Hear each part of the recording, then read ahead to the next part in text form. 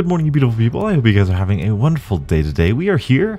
Onslaught has finally come to the PC and Xbox. By the time you're seeing this video, it is the last day for Cold War, the last day before Vanguard releases, and I'm really excited, but uh, I wanted to give this a little bit of a shot before we finally moved on from this game. I actually genuinely haven't really looked anything into this game mode, so it's going to be a brand new, brand new experience for me jumping in right here. Hopefully this is okay. I know a lot of people were really crying out for a survival map type thing for Cold War Zombies, you know, like Nacht or the first thing of Firebase Z, but, you know, I always thought, like, those maps wouldn't work. I don't think that would have been as successful as, you know, the survival maps have been in the past. In fact, I thought this exact thing was kind of Treyarch's answer for survival maps. These really small, if you want to play zombies, just jump on some Onslaught, play a little round here and there, and then, yeah, there you go. That's your zombie fix. So, I don't know. We'll see if that holds true or not. This is a beautiful map, though, I gotta say. This is, I, I, I don't play much multiplayer, but uh, this is a really interesting uh, design for a map. Woohoo! Ooh, we got a perk. Death Perception. Ooh, and uh, Napalm Burst. Hey, I'll take the Magnum. Like I said, today is the last day before Vanguard releases, and I gotta say, I'm really excited. I know there's been like leaks or that one interview with GameSpot or whoever, and it really pointed towards the fact that Vanguard might not get any survival maps or round-based maps, which is to be interesting, but I'm, I'm still excited. Still a new Call of Duty. I'm still excited for kind of the new game mode to, to see what it's like anyways. I've actually watched the Zombies trailer a couple of times and I really like the aesthetic and I'm really excited for the uh, uh, what you gonna call it, field upgrades and the gods that are associated with that. I think that's going to cause uh, a really cool, interesting dynamic between the characters and the gods and the gameplay and all that stuff. I think it's going to be fun. I know the zombies community isn't as optimistic as they could be about the mode, but I mean, to be fair, there's a lot of things that are concerning about it, but I'm still looking forward to it. Okay, that, that just went off for no reason, whatever. Ooh, that's lucky. Mule kick, uh, okay, alright. Ooh, and a bronze chalice. I think I'm gonna pack a punch this guy. I think so. and I'll pick that guy up too, for sure. No. Personally, I'm just trying my best to be as open-minded as I can. Those guys are floating. As open-minded as I can, and just so long as there's like a mode where we can just casually kill zombies and hordes of zombies and then grind out camos, I'll be happy. That being said, the changes to the multiplayer that they advertised actually got me pretty excited about the multiplayer too. I know I, you know, put out that really salty video saying they know the problems with the multiplayer, they're never going to change it, and then they change it, make me look like an idiot.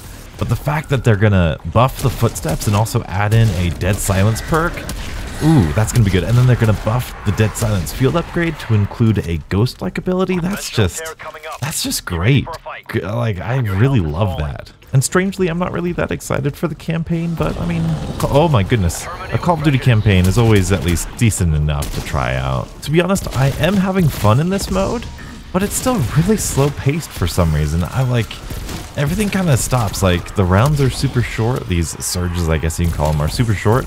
I don't know if it's like their attempt to try to get the multiplayer people into zombies or whatnot.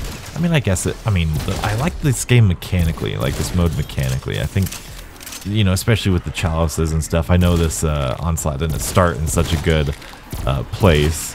But um, yeah, I can definitely see the longevity of this kind of being that casual zombie killing experience that players love. But of course, as I've mentioned in my previous videos, uh, Treyarch seemingly is trying to get rid of that slow-paced, uh, beginning early rounds uh, of zombies with a whole bunch of different ways. So having a slow-paced zombie mode is kind of boring.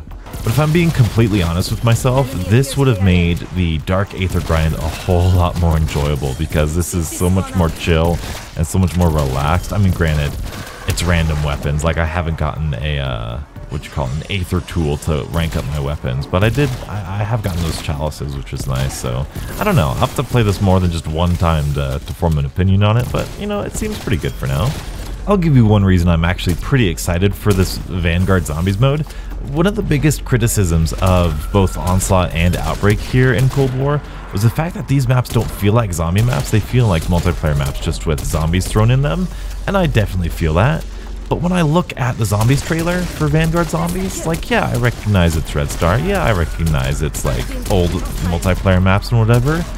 But it doesn't really feel like multiplayer maps. And I appreciate that they at least went to the effort to try and zombify those maps, you know, and make them a little bit more aesthetic and have a little bit more atmosphere. I think that is going to be something that I personally enjoy and I think that is a small thing that they can do to both be more efficient with their maps, but also still try to make them as atmospheric and zombified as they can. Now that I think about it, the slow pace of this game, I think there's a different mode that people say is better because of the fact that it doesn't pause every time this thing. Like it's a constant thing and it just goes and goes and it's more chaotic and hectic.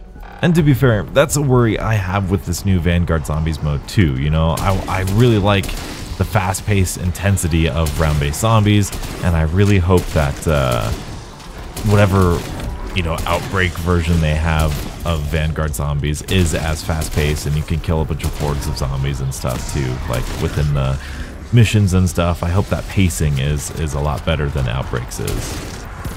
Also, have we only ever gotten insta-kills here? That's a little weird. Ooh, M16. I'm concerned we don't have Jug yet, or Stamina Up, or Deadshot, or uh, what's the other one I want? Oh no, we do have Quick Revive. It's starting to get a little intense, I really like that, but weapons are still effective. Then again, I got all legendary weapons, so that's pretty good.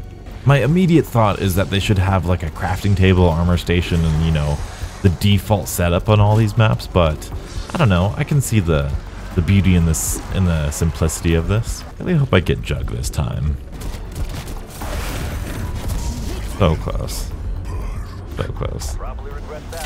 Oh, and I picked up the random perk as I was down. That's lovely. Oh well. I feel like that was a decent amount of XP and not a terrible experience either. Yeah, definitely would have really liked to have that as an option to grind out camos instead. Nope. It was just D Machine and Firebase Z for a long, long time. I guess if anyone's curious for my combat record, here it is. I mean, I've got a little sliver of blue there. Uh, 12, 13 days played total, which is a lot less than I thought. I thought I put a lot more time into this. I've definitely been, I've definitely been playing this a lot more than previous zombie games, so I'm, I'm really happy with this combat record. Let's go to zombies. Yeah, these are the first couple weapons I got gold because if you guys remember that weapon XP was just so terrible and these are the three weapons that I got with that terrible weapon XP. The AK, the XM4, the 1911, you know. Love this gun. This is one of my favorite guns here. Same, this is my favorite SMG. Ray gun I actually got a lot of kills with because I got to like round 70 on Forsaken and then I crashed or something ridiculous. Really like the C58 as well. I don't know why, but uh, yeah.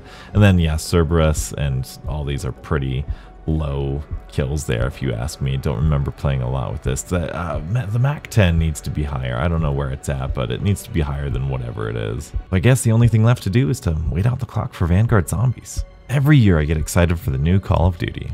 Well, be sure to subscribe for the best Vanguard Zombies content on YouTube. And as always, stay beautiful.